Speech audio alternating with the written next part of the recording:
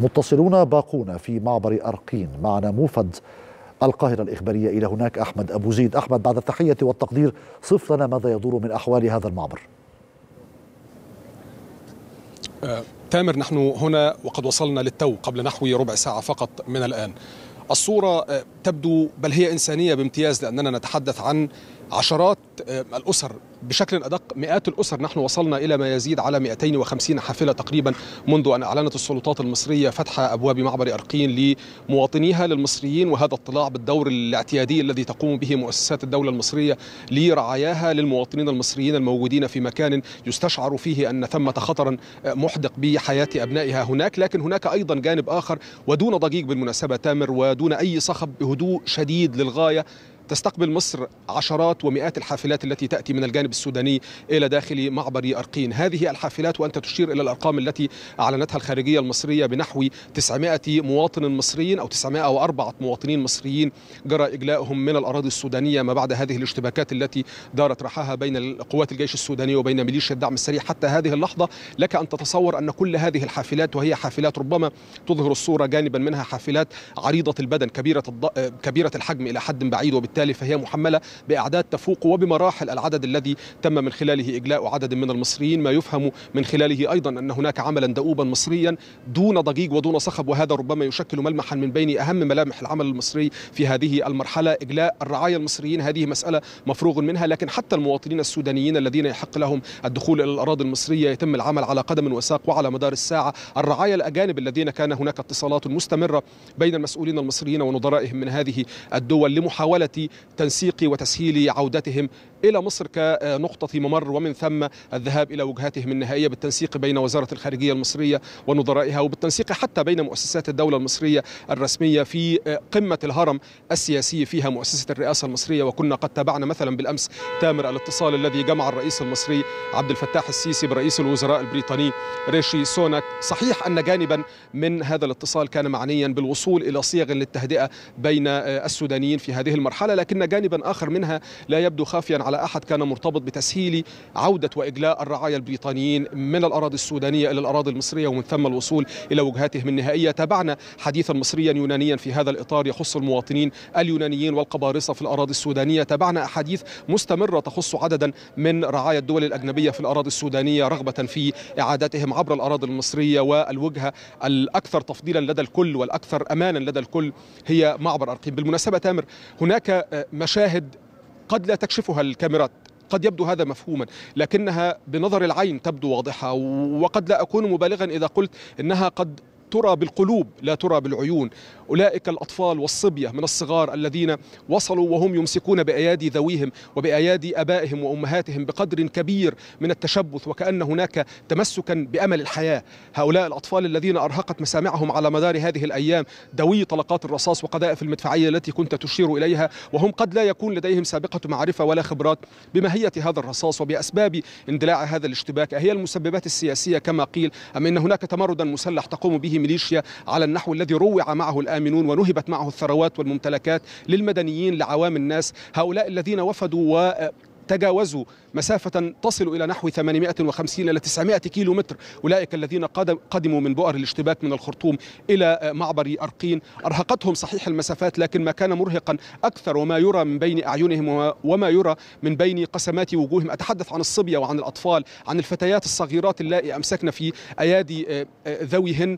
مشاهد تبدو مؤثرة للغاية وكأن هناك أملا أكبر في الحياة. صحيح أن أمل الحياة يبدو في كل مرة وفي كل مكان واحد لكن حقيقة عندما تخفت أصوات طلقات الرصاص ويخف معها دوي إطلاق النار يبدو باعث الأمل والباعث على الحياة أكبر بكثير. تامر هذه من بين أهم الملامح التي يمكن أن ترى وترصد. وأقول لك إننا هنا فقط قبل نحو ربع ساعة بمجرد وصولنا إلى هنا كان هناك عمل كبير ليس فقط مرتبط بوصول الحافلات وهذا عمل يتم على مدار الساعة كما كان يشير مصطفى عبد الفتاح قبلنا وربما حتى في الليلة السابقة كان يشير إلى هذا لكن عملا اخرا موازيا قد لا يقل في أهميته عن الأعمال الإدارية واللوجستية المرتبطة بتتميم وإنهاء الإجراءات هنا عبر السلطات المصرية المعنية في معبر أرقين لكن عملا اخرا أيضا مرتبط بسيارات الإسعاف التي لا تكاد تتوقف في حركتها عبر موظفي ومسؤولي الهلال الأحمر المصري الذين يقدمون خدماتهم على على مدار الساعة بل على مدار الدقيقة لأنه ربما يكون هناك بعض الوقت الذي يتخذ في هذا المعبر على خلفية إتمام الإجراءات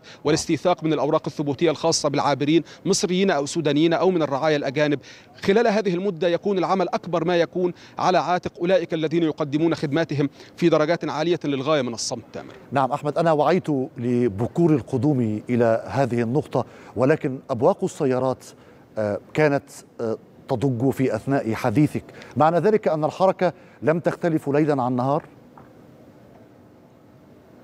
على مدار الساعة تامر وهذا أقول لك وأنا لازلت حريصا على هذه الإشارة. هذا عمل دون صخب ودون ضجيج. ربما الضجيج كان آتيا من أصوات أبواق السيارات كما أشرت وكما سمعنا جميعا هنا. لكن هذا العمل الذي يتم على مدار الساعة لم تقدمه دولة لا في المنطقة ولا في غير المنطقة عندما تصدر بعض الدول بياناتها عن إجلاء 100 200 300 أكثر أو أقل عبر تنسيق مع دول أخرى عبر إجلاء لرعاياها عبر الاشتراك في تنسيق جهود لإجلاء رعايا دول آخرين. نحن نتحدث عن الآلاف فقط في بضعة أيام تقوم بها مؤسسات الدولة المصرية دون صخب ودون ضوضاء. صحيح أن الجهد الجهيد والعمل المنسق بشكل أساسي يقوم على إجلاء الرعايا المصريين لكن هناك أيضا عمل آخر مرتبط بفتح الأبواب أمام كل من يحق لهم الدخول إلى الأراضي المصرية من المواطنين السودانيين من مواطني ورعايا الدول الأجنبية الأخرى الذين يتم تنسيق الاتصالات مع مؤسسات الدولة المصرية. إذا كان إذا كنا نتحدث نحن جوزنا الثانية من بعد منتصف الليل لكن العمل يتم على مدار الساعة 24 ساعة لا يختلف فيها العمل ليلا عن عن ساعات النهار. العمل على مدار الساعة تامر ولا زلت مصر أنه إذا كانت أصوات أبواق السيارات قد اعترضت طريق هذه المداخلة فإنها ربما تكون فقط إشارة إلى حجم العمل الذي لم يتوقف ولا يبدو أنه سيتوقف إلا مع إتمام مراحل العمل كما تريدها السلطات المصرية بالتنسيق مع السلطات الرسمية في السودان تامر. أحمد أنت وصفت وصف القلب كما أشرت. وصف العين في هذه النقطة في هذه الساعة المتأخرة من قلب هذا المعبر كيف تراها؟ الحركة سلوك العابرين جنسيات العابرين على الأقل رأي العين وأنا أعي مرة أخرى أن القدوم لتوه. الحديث تامر عن حالة من الوجوم.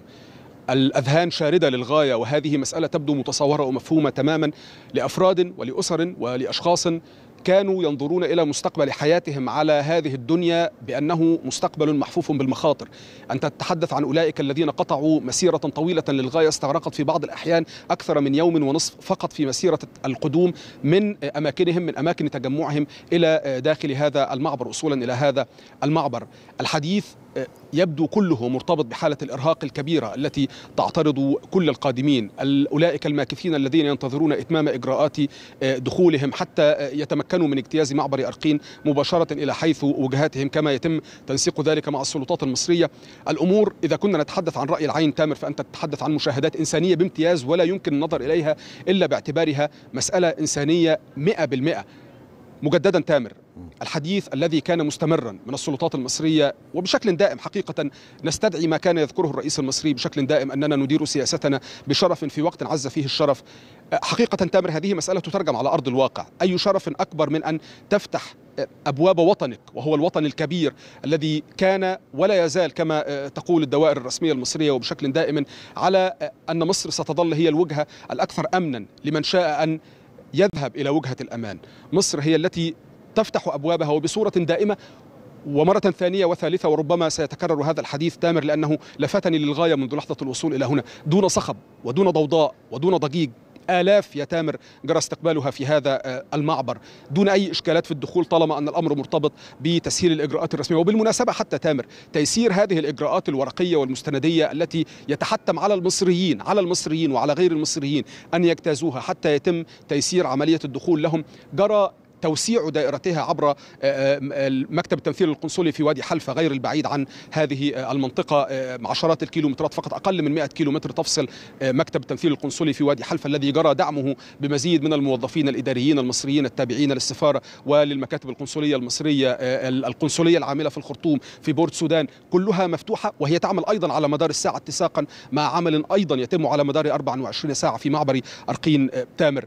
الأمل والرغبة في الحياة تامر. هذه هي المشاهد الأساسية التي يمكن القول بأنها دائما ما تأتي من كل الوجهات التي تشهد اشتباكات تشهد أصوات أطلاق الرصاص أطلاق النيران. هذه مسألة تبدو فارقة تماما لا في عمر الشعوب في مجملها ولكن حتى في عمر الأسر في عمر نظرات الأفراد فقط لأنفسهم بأن هناك املا حقيقيا بدأ يولد في الحياة والحق في الحياة هو أبسط الحقوق التي يمكن أن تكون لصيقة بالشخص تامر. أنت أحمد لفت إلى هذه النقطة. أنا لم يعد لدي أسئلة فأنت أجملت بكل ما تفضلت بذكره في هذه النقطة ولكن هذا هو أحد أشرس الروافد التي تأتي من هذه الصراعات حين تشتعل في الأوطان بين أهلها. أنا شاكر أحمد سنتابع معك أحمد أبو زيد موفد القاهرة الإخبارية من معبر أرقين على الحدود المصرية السودانية في أقصى الجنوب المصري. شاكر لك هذه المشاركة.